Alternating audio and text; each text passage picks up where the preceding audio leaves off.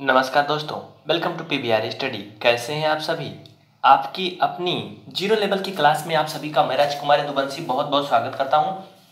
मित्रों, हमारे zero level class का उद्देश्य ये है कि इंडिया में हर किसी को गणित आए, भारत देश में हर किसी को मैथ आए। पढ़ेगा इंडिया तभी तो बढ़ेगा इंडिया और इसी मिशन को लेते हुए हमने ज़ीरो लेवल से क्लास शुरू किया है। मतलब वो क्लास जिससे आप पढ़ते नहीं, सीखते हैं। जी, बिल्कुल सही। हम आपको हासिल वाला जोड़, उधार वाला घटाना से लेकर के गणित शुरू किए हैं। और हमारा ये मिशन जो है, इसी तरह से आप लोगों के साथ सफल बनता रहेगा। इन्हीं उम्मीदों के साथ चलिए शुरू करते हैं आज कक्षा चार की गणित, बिल्कुल स्टार्टिंग से। इसके पहले भी आप लोगों ने कक्षा चार की गणित पढ़ लिया होगा, लेकिन ये दोबारा आपकी सेकेंड बैच होगी। ठीक है? ध्यान दीजिएगा। छोटी और बड़ी संख्या आज हम देखेंगे। जैसे आप लोग सुने होंगे, मान लेते हैं आपके भाई हैं या बहन है तो आप छोटे होंगे अपने भाई से या बहन से या बड़े होंगे, है ना? या फिर मानते हैं कि आपके पापा या फिर मम्मी जो भी गार्जियन है या दीदी भैया, कोई भी मान लेते हैं कि कोई चीज़ लेके आते हैं भाई, मानते चॉकलेट लेके आते हैं, ठीक है?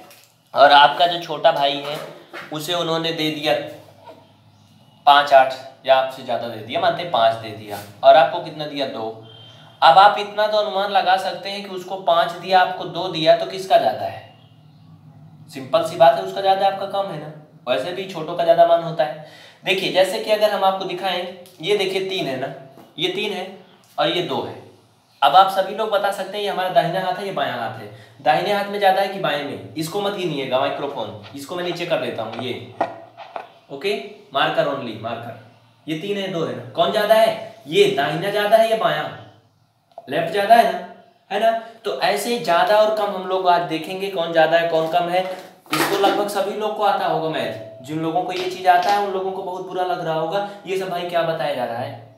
इसको तो किसी की ज़रूरत ही नहीं है। बहुत लोगों को ज़रूरत है इसकी, और पचास हज़ार लोग जुड़े हैं, पचास हज़ार लोग इसी को देखने के लिए। आइए दिखाते हैं। पाँच और तीन में कौन बड़ी है? सब लोग जानते होंगे, जल्दी से कमेंट करें। जितने भी लोग देख रहे हैं, कोई ऐसा नहीं जो ना जानता हो। पाँच बड़ा है कि तीन बड़ा है कि कोई नहीं? ऐसा तो हो ही नहीं सकता, कोई नहीं। पाँच या तीन में कोई ना कोई बड़ा है। सब जानते हैं सिंपल में पाँच बड़ा है। दूसरा क्वेश्चन पे आ जाओ। बारह और अठारह में कौन बड़ा है? या फिर कौन बड़ी है? कुछ भी बोल सकते हैं, इसमें नंबर में कोई जेंडर नहीं होता है मेल फीमेल का। नो झंझट तो कौन बड़ा है? अठारह बड़ा है, सभी जानते हैं सिंपल में, है ना? लेकिन एक सवाल जो बड़ा अटपटा सा है, वो ये नौ सात बारह छ का बढ़ते क्रम में मान क्या होगा? और मित्रों, बढ़ते क्रम को हम लोग बोलते हैं आरोही क्रम। आरोही क्रम बोलते हैं, इसे इंग्लिश में बोलते हैं असेंडिंग ऑर्डर या इंक्रीजिंग ऑर्डर तो जल्दी से बता दो इसमें से कौन सा ऑप्शन सही होगा। फटाफट कमेंट करें, ज़्यादा टाइम नहीं है। बहुत जल्दी करें।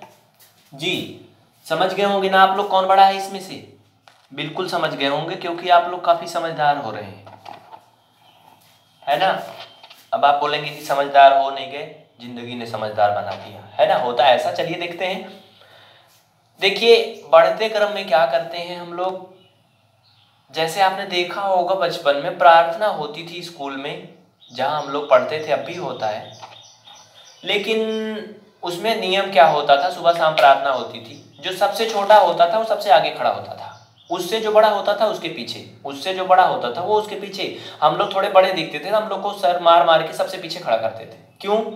देखिए, बहुत ज़्यादा बड़े तो नहीं, लेकिन हमसे छोटे बच्चे रहते थे। तो ऐसा क्यों होता है? ऐसे देखने में एक अच्छा लगता है। अच्छा कैसे लगता है? वो मैं आपको दिखाता हूँ, इस क्वेश्चन को मिटा करके ध्यान दीजिएगा। सबसे छोटे, सबसे पहले, उसके बाद फिर उससे बड़े, फिर उससे बड़े, फिर लास्ट में जो है वो सबसे बड़े। और हाँ अगर जो बड़ा होता था, अगर पहले आगे खड़ा हो जाता था, उसको मार पड़ती थी। ऐसे, जैसे देखें, ये है ना? ये अब आप लोग समझ रहे होंगे। देखिए, ये ग्राफ कैसे बढ़ रहा है। ऊपर है ना? बढ़ रहा है ना? बढ़ रहा है ना? ये देखिए, नंबर एक, दो, तीन, चार, पाँच, छठा स्टेज। ऐसे तो आपकी तरक्की का ग्राफ भी बढ़ता है ना? पीवीआर स्टडी भी आपका ऐसे ही बढ़ रहा है। कैसे? देखिए अब इसमें आप सिंपल सा अनुमान लगा सकते हैं, नंबर एक जो है वो यहाँ पर है है ना, इस लेवल में है, दूसरा इस लेवल में है, तीसरा इस लेवल में है, चौथा इस लेवल में है है ना, और पांचवा आपका इस लेवल में है, छठवां तो ये लेवल दिखे रहा है आपको सीधा सीधा है ना तो समझ गए ना, छोटा बड़ा, अब ये क्रम क्या होता है, आरोही क्रम क्या होता है, ध्यान दीजिएगा, जो सबसे छोटा है उसको यहाँ लिखेंगे नीचे, यहाँ पे, सबसे छोटा कौन है, नौ, सात, बारह छ देखिए छ सबसे छोटा है इन सब में, है ना? तो छ यहाँ हो जाएगा। अगला देखिए, नंबर सात का आता है तो सात आपका दूसरा लेवल पे हो जाएगा, है ना? फिर आठ तो है नहीं इसमें, नौ है तो नौ आपका तीसरा लेवल पे हो जाएगा। फिर आता है दस, ग्यारह, बारह। दस, ग्यारह है नहीं, बारह है तो बारह आपका यहाँ हो जाएगा।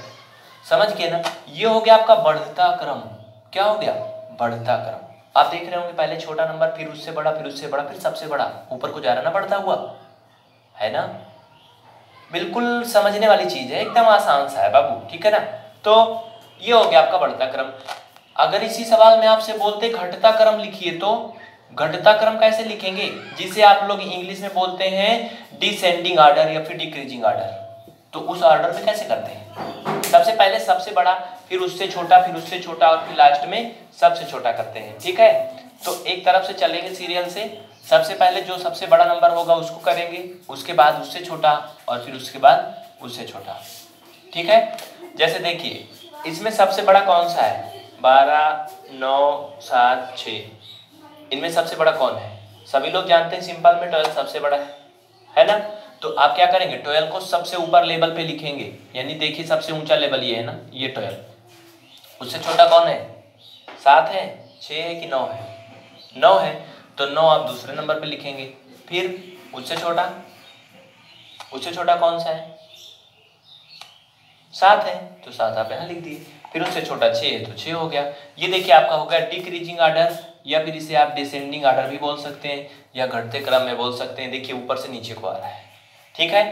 तो अगर आपको कोई कंफ्यूजन है तो आप निसंकोच बोल सकते हैं, नहीं तो आगे देखते रहें।